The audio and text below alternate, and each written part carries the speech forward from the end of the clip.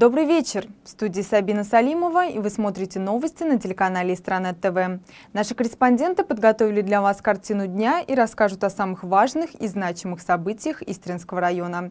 Смотрите сегодня в выпуске.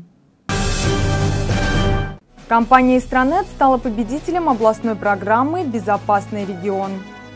Проблема плохих дорог наконец начала решаться в сельском поселении Павлослободское. Кто стал новым директором Снегиревского дома культуры? Итоги соревнований по конкуру, которые прошли в клубе «Дивный» в минувшие выходные. Обо всем этом смотрите далее более подробно. Компания ООО «Истранет» стала победителем областной программы «Безопасный регион». Для обеспечения безопасности Истринского района на объектах социальной сферы будут установлены системы видеонаблюдения. Подробности в нашем репортаже. В понедельник по итогам электронного аукциона на право создания систем видеонаблюдения было вынесено решение о назначении компании «Странет» исполнителем проекта «Безопасный регион» на территории Истринского района. Он направлен на создание систем видеонаблюдения на объектах социальной сферы, например, на территориях школ, детских садов и в других общественных местах.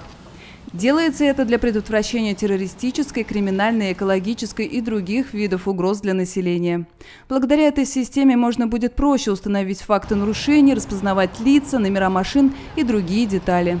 Программа «Безопасный регион» готовилась нашей компанией очень давно. Мы надеемся, то, что данная программа поможет нашему городу, нашему району стать э, более безопасным, снизить уровень преступности, и наши жители, наши дети будут спокойно ходить по улицам. А также мы, честно сказать, рады, то, что мы сможем принять участие в государственной программе «Безопасный регион» и помочь нашему населению. Установка 22 камер является одним из первых этапов этого огромного проекта. Всего предполагается установить несколько тысяч камер видеонаблюдения, которые будут подключены к системе 112. Уже известны первые несколько объектов. В городе Истра в них вошли СОШ номер 2 и детский сад номер 20. В Дедовске средняя школа номер 1 и детский сад номер 2. Во-первых, это предотвращение различных чрезвычайных происшествий, особенно криминального характера связано. Потом а, сознание человека, оно а, будет, я думаю, что меняться, когда он э, будет знать о том, что территория находится под контролем, видеофиксация осуществляется. Я думаю, что многие задумываются о совершении не только там криминальных каких-то проявлений, но и вандаль, антивандальные э, моменты тоже, я думаю, что будут как-то Да. Уже на протяжении многих лет Истранет успешно сотрудничает с МУП Истринская ЖЭО, МВД по Истринскому району и другими организациями. На улицах городских и сельских поселений в режиме реального времени работает уже более двух сотен камер. Фарида Кчеткова, Дмитрий Гинкул, Истранет ТВ. За решение одной из извечных проблем плохих дорог взялись в Павлослободском сельском поселении. Подробнее смотрите в нашем сюжете. Обычно жители деревни Лобанова своими силами чинили дорогу, засыпали ямы щебнем и кирпичами. Вячеслав Солопов отсутствовал здесь около недели. По возвращению сильно удивился. Вместо грунтовки здесь лежит ровный асфальт. Дорога сейчас довольны, потому что раньше здесь приходилось самим дорогу ремонтировать и бетонировали, часто подвеска ломалась. Вот. Сейчас стало очень удобно. До этого здесь дорога была хорошая, но так как население увеличилось, и дорога стала приходить в негодность. Поэтому приходилось самим делать. Даже были удивлены, что так быстро сделали дорогу. Похожая ситуация происходила и в деревне Черная. Здесь асфальта никогда не было. Теперь по центральной улице можно спокойно передвигаться на автомобиле, не боясь повредить подвеску. Да и пешеходам стало намного безопаснее. Улицы оборудовали лежачими полицейскими. Во многих деревнях у нас отсутствовали дороги. И вот сейчас у нас пошла программа «Первые шаги». Мы начинаем по центральным улицам наших деревень, где грунтовые дороги, делать нормальную проезжую часть, асфальт – не как это было раньше. Грунт, когда проходят дожди, люди тут по щиколотку в грязи, особенно пешеходы, машины застревают. Сейчас ну, все стараемся делать к лучшему для комфортного проживания наших жителей. Благоустраиваться будут не только деревенские дороги. На улице Карла Маркса в селе Павловская Слобода тоже отсутствует асфальт. Пробираться в дождь по этой дороге очень трудно. Наступит праздник и на этой улице, ее заасфальтируют к концу августа. Также в планах у администрации сделать здесь пешеходные покрытия, чтобы обеспечить безопасность пешеходов. Максим Рыков, Михаил Моралов, Истранет ТВ.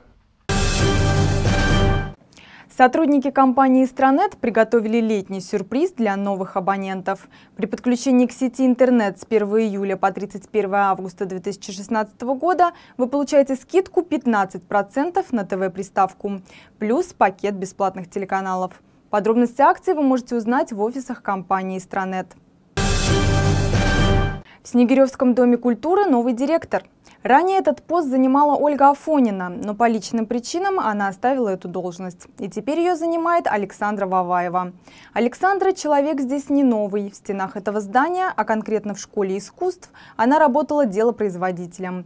А также за ее плечами работа в сфере спорта, музыки и воспитания. У меня высшие два образования. Первое – педагогическое, с правом преподавания музыки. Второе – образование психолог, преподаватель психологии.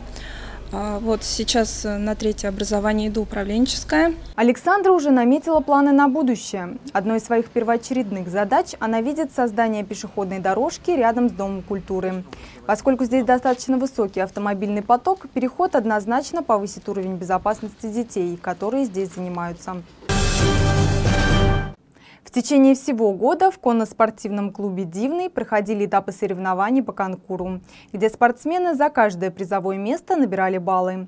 минувшие выходные прошли финальные катания на лошадях, где были выявлены абсолютные победители этого турнира. В турнире принимали участие спортсмены из Москвы и Подмосковья. В первом маршруте последнего дня в преодолении препятствия высотой 130 сантиметров участвовали 9 пар профессионалов и 7 пар любителей. Но справились с этим заданием не все всадники. За неповиновение лошади были исключены 4 пары участников. Абсолютным победителем в соревновании по конкуру на маршруте до 130 сантиметров стал Сергей Додонов. В спорте я давно, а, в абсолютном первенстве первое место, первый раз по а Много было этапов, 7 этапов, полуфинал, финал. Вот. Лошадь у меня достаточно молодая, только выходит на мировой уровень. Вот. Будем надеяться, что теперь победы будут чаще.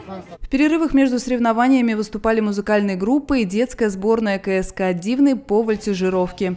Это такие гимнастические упражнения, выполняемые спортсменом на лошади, движущейся по кругу.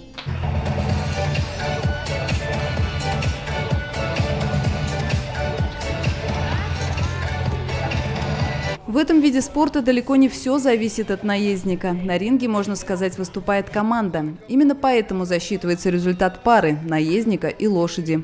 На него влияет много факторов – навыки, эмоциональный настрой и, конечно, взаимопонимание. Анастасия Толчеева, например, заслугу за победу практически полностью приписывает своему коню. Благодаря моему коню прекрасному. Ну, конечно, мы очень много работали стремились к этому, потому что я на нем сижу сравнительно недавно, и, можно сказать, за год от высоты 110 мы поднялись до 130, и это достаточно быстро, и я ему очень благодарна, мы с ним одна команда, очень хорошо друг друга понимаем, вот, что вот так. В финале этапа Гран-при принимали участие лучшие спортсмены по итогам 2015-2016 года. Они преодолевали препятствия на 15 сантиметров выше, чем участники предыдущего этапа. Высота их составляла 145 сантиметров. Это была самая зрелищная часть мероприятия. Все спортсмены показали себя отлично, но побеждает сильнейший. Маршрута Гран-при стала кандидат в мастера спорта Анастасия Макаренко. На лошади по кличке Кранч де ля Рок, конно-спортивный клуб «Дивный». Спортсменка награждается кубком, золотой медалью, букетом цветов, денежным призом, подарками от партнеров соревнований, ее лошадь розеткой и сладкой морковью. Конечно, я очень довольна, потому что это самый большой конкурс э, сегодняшнего дня, самый большой конкурс турнира и заключающий конкурс сезона. Я первый раз вот выигрываю такую высоту, и мой хозяин лошадей моих очень доволен. В общем, я счастлива, горда. Такие соревнования в конно-спортивном клубе «Дивный» проводятся уже второй год подряд. За это время вырос уровень профессионализма спортсменов и уровень самих соревнований, говорят организаторы. Это подтверждает интерес зрителей. Никто не покинул своих трибун до самого конца мероприятия. Фрида Кочеткова, Михаил Моралов из Странет ТВ. Компания «Истранет» запустила новый сайт доступа к городским камерам. Теперь вы можете следить за тем, что происходит в Истре в режиме реального времени. Также для вас доступен архив видеозаписей. В случае необходимости вы всегда можете зайти на сайт freecam.istranet.ru и найти любой интересующий вас эпизод из жизни города. И о погоде. Завтра, 17 августа, в Истринском районе ожидаются дожди. Они прекратятся лишь к вечеру. Температура воздуха достигнет 20 градусов. К ночи опустится до 16. Ветер южный до 5 метров в секунду. И это все на сегодня. Следующий выпуск новостей телеканала Истрана ТВ смотрите завтра в 8 вечера. Будьте в курсе всех главных событий Истринского района. Следите за новостями вместе с нашими корреспондентами. В студии для вас работала Сабина Салимова. До встречи!